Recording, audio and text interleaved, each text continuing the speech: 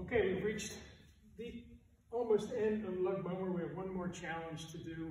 I hope you had a good time with it. I hope there was a little competition. I hope you worked up a sweat.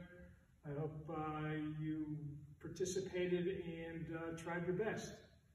Okay, so this last challenge, let's call it a sumo sit. You've done it before in, in my class. It's a variation of the wall sit. If you're in K through second grade, shoot for 30 seconds. If you want to go longer, fine.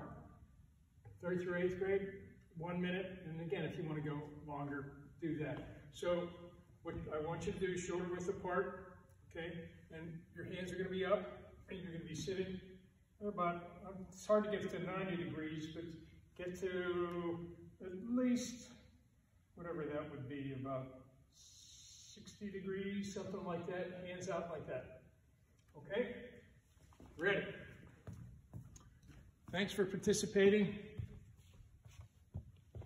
Get it. go.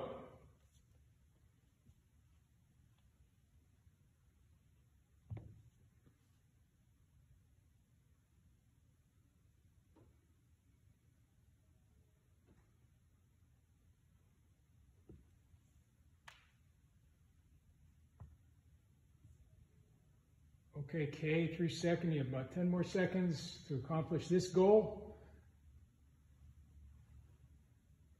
Excellent job. Everybody else, keep it up.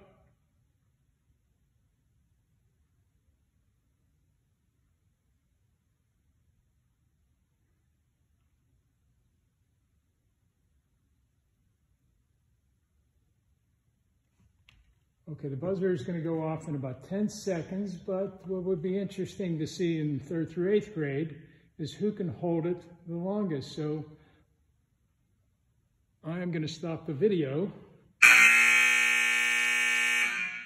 but you can watch each other and see who can hold that pose for the longest in your class.